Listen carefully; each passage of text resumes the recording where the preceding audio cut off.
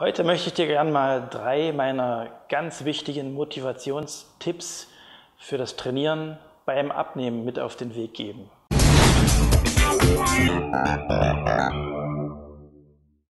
Der erste Tipp ist der folgende, und zwar lieber weniger vornehmen und machen.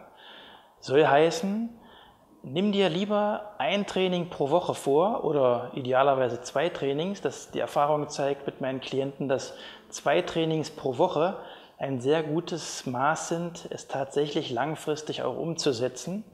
Also lieber ein bis zwei Trainings pro Woche und das kontinuierlich, als zu sagen, ich bin jetzt motiviert, ich gehe jetzt vier, fünf Mal die Woche trainieren.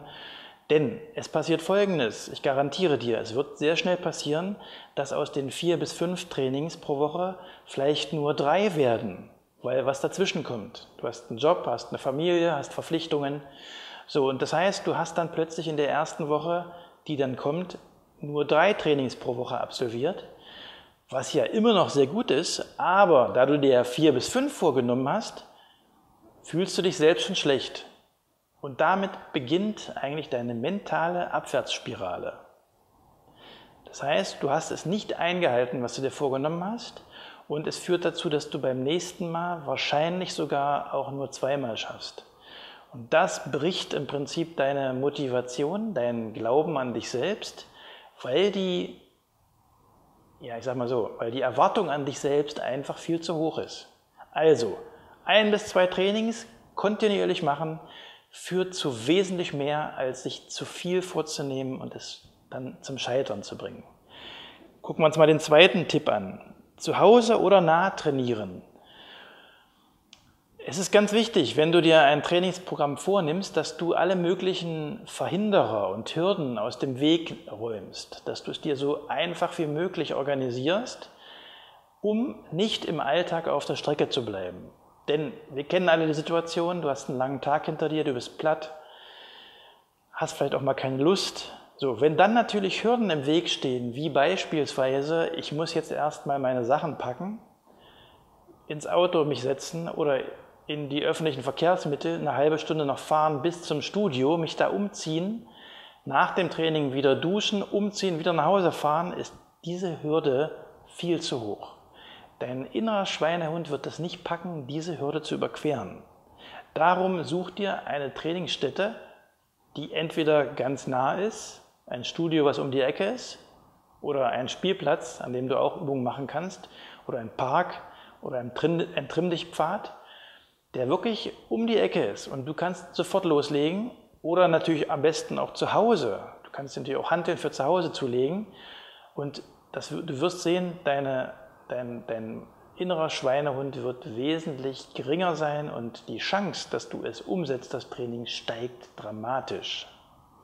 Und meine dritte wichtige Empfehlung, besser ein kurzes Training zu absolvieren als keins. Sind wir wieder an dem Punkt. Ich bin als Personal Trainer mit extrem viel Erfahrung, über 20 Jahre hauptberuflicher Erfahrung, äh, ist es mein Job, Menschen, die viel beschäftigt sind, viele Verpflichtungen haben, durch den Trainingsprozess durchzubringen, durchzutreiben, durchzuprügeln, prügeln in Anführungsstrichen, weil es macht allen viel Spaß und sie empfinden es gar nicht als Belastung. Das heißt, meine Kunst ist es tatsächlich, das Training so zu, rüberzubringen, dass du es gar nicht als Belastung empfindest. Trotzdem kann es natürlich sein, dass du am Abend erschöpft bist, obwohl du dir für den Tag das Training vorgenommen hattest. Du möchtest auch unbedingt in deinem Rhythmus bleiben.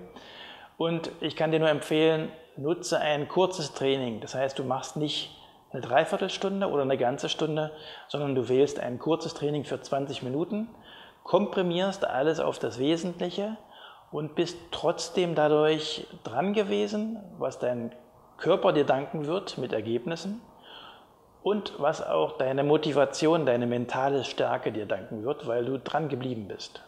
Ja, also nutze lieber ein kurzes als gar kein Training und das waren jetzt mal hier meine, oder ein Auszug aus meinen wichtigsten Motivationsprinzipien, diese drei. Ich fasse sie nochmal kurz zusammen. Also, wir haben gesagt, lieber weniger vornehmen und machen, als zu viel vornehmen und scheitern. Dann lieber zu Hause und nah trainieren und besser ein kurzes Training als keins. In diesem Sinne wünsche ich dir eine gute Motivation für deine nächsten Trainings. Wenn du eine Frage hast, wenn du Probleme hast, dann melde dich bitte einfach. Äh, schreib deine Fragen in die Kommentare. Ich beantworte dir die persönlich. Wenn du eine Frage hast, schreib uns eine E-Mail, wenn die etwas äh, ja, vielleicht diskret behandelt werden soll, an kontakt.figurtrainer.de. Ansonsten, wenn dir das Video gefallen hat, gib dem Daumen hoch und abonniere den Kanal und ich freue mich auf dich beim nächsten Mal. Dein Jon Giersberg.